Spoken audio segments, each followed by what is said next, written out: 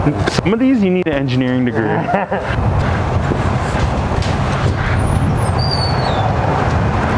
Well, what's up, yeah? hey, how are you doing, buddy? How are you doing? Good. What are you doing here at Stinson today? So, grabbing out some beer here. Hey, uh, I'm Yia. Um, one of the chefs at Union Hmong Kitchen, and then uh, Vinai, which is coming up this spring, summer, hopefully. Uh, so I got some uh, some beers here. Uh, our friend Corey helped me out, pick out a couple. Um, Tell us about what you got. got this uh, fancy one uh, with the trapeze. Um, it's kind of a darker beer, so I'm, I'm, really we like doing a lot of steaks and then you know stuff like that. So this will this will probably do, be really good with it. Um, and then beer wise, I'm just pretty simple. Uh, a lot of um, a lot of pilsners and lagers. So we got some.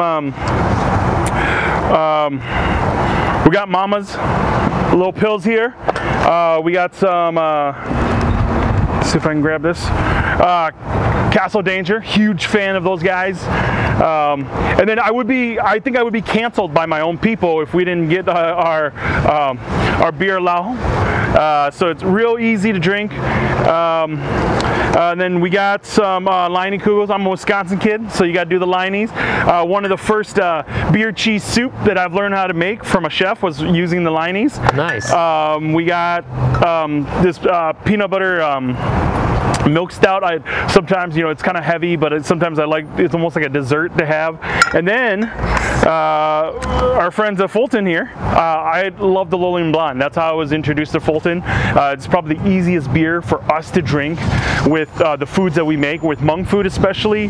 And so yeah we just love having just simple beers easy to drink. I think as uh, as i get older i'm realizing that it's just it's just about having a good beer with some really great food or, or do you use beer in a lot of your cooking?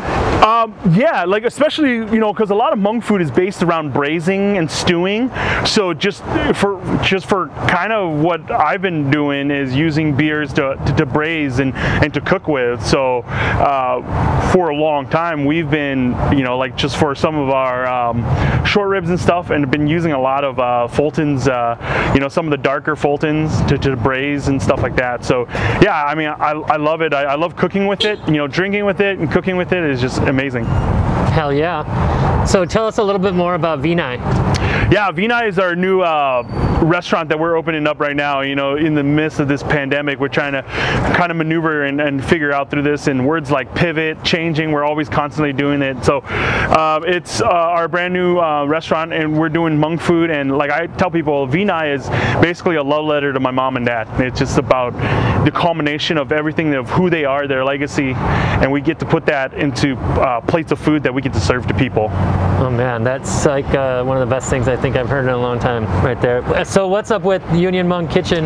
yeah, so right, yeah, so right now Union Hmong Kitchen, we are takeout only, like everybody in the state right now, and so you can just go online to our website unionhmongkitchen.com, and then you can order out, and it's all takeout. And we we really just really in the last few months really learned to say, hey, what can we really focus on? And one of the big things is family meals.